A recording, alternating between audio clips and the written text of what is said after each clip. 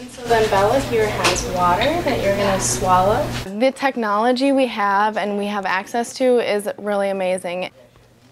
Traditionally, nursing schools have had skill-based practice areas, um, but really with the emphasis and kind of the increase in simulation, um, kind of adding those two pieces together. So not just getting to practice a skill, but also getting to practice it um, in a semi-realistic environment. So today I'm just going to check your um, vital signs. I'm going to do a little blood pressure. I'm going to listen to your heart and your lungs. Having these simulations where you're practicing going into a patient's room, talking to the patient, performing this assessment, and also having that feedback after the simulation, it's really great. We talk to them like they're a real patient. We act, when, once we come in the room, we close the door, wash our hands, ask name and date of birth. Like really, it's just, putting it into real practice and the routine of it, just really stapling in our minds that we have a routine and they are our patients. It takes very little acting, very little realism to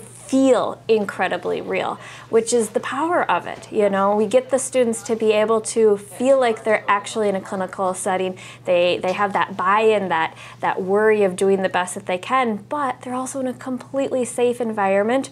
It's going to completely change how we learn newborn skills assessment because up until now we haven't had really a realistic patient to work on. So it really makes all the difference to be able to have those real life applications or as closest to them as possible. These mannequins are really high tech. Some of them we can program to breathe, heart lung or heart sounds, lung sounds. Um, we even found out on one really late night that we could make them uh, scream too. That was a really scary moment. My partner thought it was hilarious, but I hit the ground. It's really cool the technology that we have.